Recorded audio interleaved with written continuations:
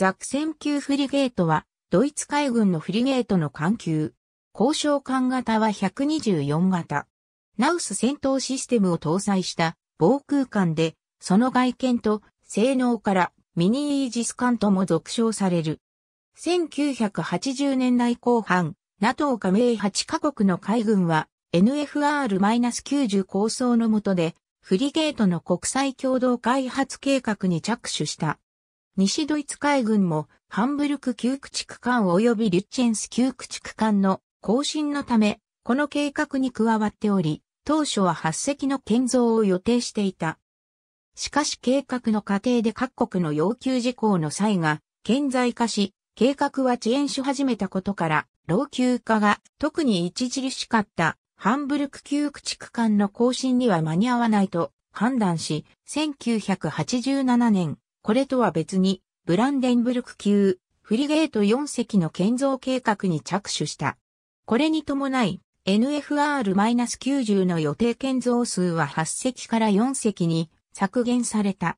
しかしその後も計画は難航し、1989年にはイギリス、フランス、イタリアが相次いで計画から離脱した。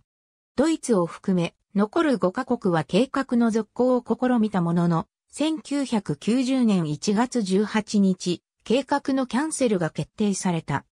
計画の参加国はそれぞれに戦闘艦の開発を続行することとなったが、このうちドイツ、オランダ、スペインの参加国は TFC 計画を開始した。1993年10月にはドイツのブロームーンとホス社、オランダのロイヤルシェルディ社、スペインのバサン社の3社で共同調達や調達方針に関する覚書が取り交わされた。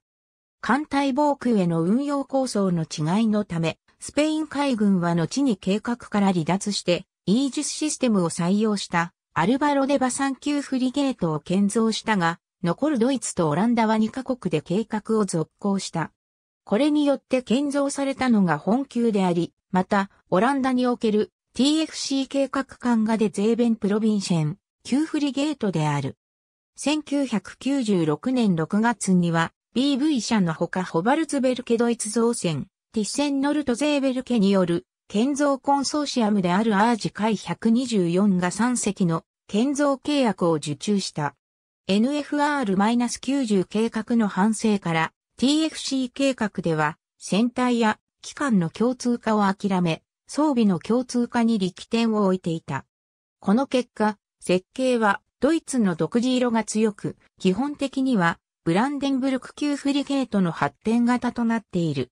線形は朝鮮主郎型、煙突は V 字型配置と、いずれも123型と同様である。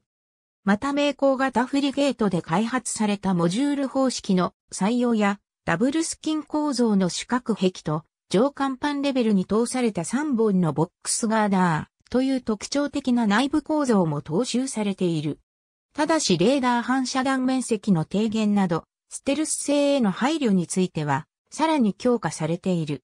船体、マスト、上部構造を含めた構造材料の大部分は D36 超質高張力鋼とされた。船体内は7つの水密区画に区分されている。設計にあたっては、排水量にして270トンの増大まで許容できる将来発展余地が見込まれた。また部隊指揮官及び幕僚のための区画が用意されているほか、女性乗員の追加も見込まれている。食堂は4室設けられているほか、図書室やフィットネスルーム、また5床の病床を備えた病室1室も設けられている。なお現、ユラ装置としては、123型で装備されていたフィンスタビライザーは省かれ、1枚火事に現ユラ機能を組み込んだものとなっている。旋回半径は約570メートルである。主キャ方式に関しては、ブレーメン級以来マトゥ 20V956 TB92 ディーゼルエンジンとゼネラルエレクトリック LM2500 ガスタービンエンジンによるコドック方式が踏襲されてきたのに対し、本級ではガスタービンエンジンを一気に削減し、高速時にはディーゼルエンジンと併用するコダグ構成とされた。またディーゼルエンジンはボアストローク比が大きいマトゥー 20V1163 TEB93 に変更された。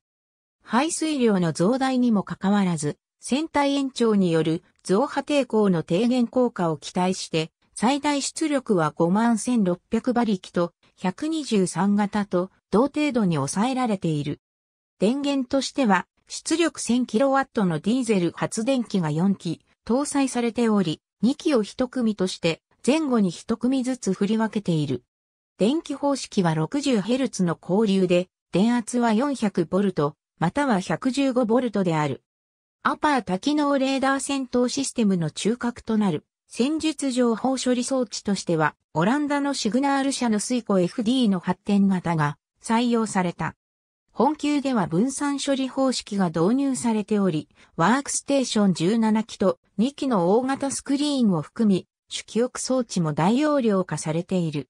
また、リンク11及びリンク16による戦術データリンクに対応しているほか、リンク22への対応も予定されている。中核的なセンサーとなるのがアパー多機能レーダーである。これはその名の通り、アクティブフェーズドアレイアンテナを用いたフェーズドアレイレーダーであり、塔型の前穂柱の周囲に4面のアンテナを固定装備している。多機能レーダーとして目標の捜索、補足からミサイルの誘導までを一手に担っているが、X バンドで動作することから探知距離は比較的短く、これを保管するための早期警戒レーダーとして L バンドのスマート L も併載される。ソナーとしては DSQS-24B をバウドームに収容して搭載する。栄光ソナーの装備も検討されたものの、実現していない。SM-2MR を発射するザクセン蒸気の経緯により、本級の武器システムは TFC 計画に基づいて開発されたものであり、ナウスのコンセプトに基づいている。その火力となる艦対空ミサイルとしては、艦隊防空用としては SM-2 ブロック EE や、また、古艦防空用としては SM と、いずれもアメリカ製のミサイルが用いられる。これらのミサイルは32セルのマーク41モッド 10VLS に収容されており、標準的には SM-2 が24発、SM が32発搭載される。またナウスには含まれないが、近距離での防空用としてラム近接防空ミサイルのマーク4921連装発射機が搭載されている。艦砲としては62口径 76mm 単装速射砲を線路甲板上に設置した。放射撃式装置としてはアパーのほか電子光学式の MSP-500 も用いられる。また、近接目標への備えとして MLG27-27mm 単装機銃も搭載される。対艦兵器としては、ハープーンブロック 1D 艦対艦ミサイルの4連装、発射機2機を装備する。対潜兵器としては、MU90 短魚雷のための Mark 32 Mod 73連装短魚雷発射管2機を備えており、また、対魚雷デコイも搭載された。艦尾甲板はヘリコプター甲板とされており、15トンまでのヘリコプターの運用に対応する。ヘリコプター甲板には HHS 着艦拘束、機体移送装置を備えており、C ステート6までヘリコプターの運用が可能である。関西ヘリコプターは、リンクスマーク88、または NFH90 紹介ヘリコプター2機である。ヘッペンザーグローデン海軍基地に停泊する、ドク艦手前から2番目に、ザクセン、1番奥に、ハンブルクが接岸している。設計はブロームウンとフォス社で1996年に発注され、2003年から2005年にかけてザクセン、ハンブルク及びヘッセンの3隻が収益した。4番艦、チューリンゲンは建造が計画されていたものの、機構には至らなかった。ザクセン級フリゲートは、建造当初は3隻とも2000年に編成された第1フリゲート戦隊に配備されたが、第1フリゲート戦隊は、第6フリゲート戦隊と共に2006年1月に解体され、旧第6フリゲート戦隊所属のブランデンブルク級フリゲート4隻と共に第2フリゲート戦隊に編入された。ありがとうございます。